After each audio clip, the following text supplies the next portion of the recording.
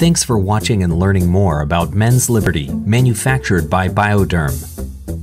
This application video will take you through using Men's Liberty step by step.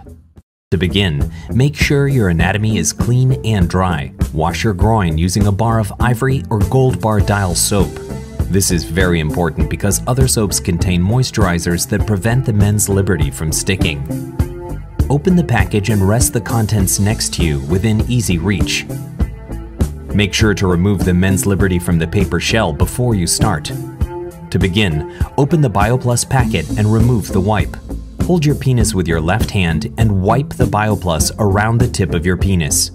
Make sure you wipe the V-shaped groove on the underside of the head of your penis. Let the BioPlus dry until it's no longer sticky.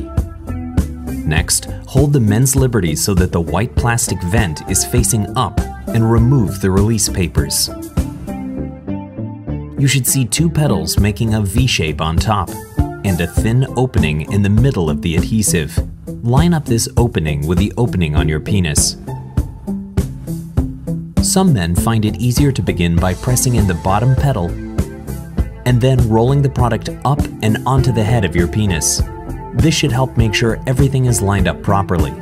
One by one, press the rest of the petals down over the head of your penis, overlapping as needed.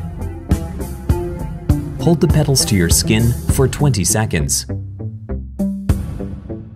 Next, allow the seal to drop down. These wings will wrap around the head of your penis. Pull the release papers off as you pull the seal across your penis and smooth it into place.